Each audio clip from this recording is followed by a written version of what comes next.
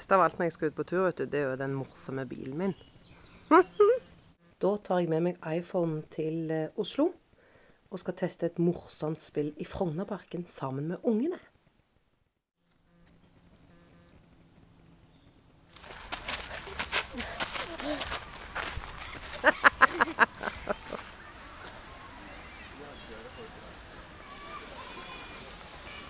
Å, det var fint.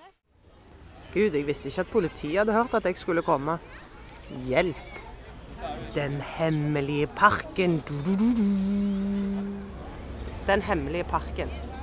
Nå ser vi ingenting her, da. OK. Hvor, Hvor begynner jeg? Skal jeg trykke der? Ja. Dette eventyret starter i Vegelandsparken i Oslo. Ja, men han sa bare at vi skulle starte ved Her måles det mens det går. Hvor mange meter er det igjen nå? 197 fortsatt. Nei, 177. 177 meter. Ja, vi løste første oppgave. Det Tok litt tid før vi skjønte det. Nå er vi på vei til neste.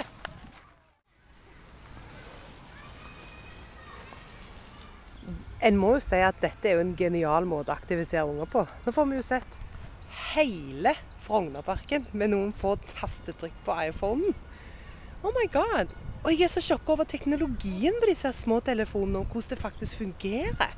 Alt de har fått til. Nei, jeg tar meg hatten. Her løses det gåter over en lav sko.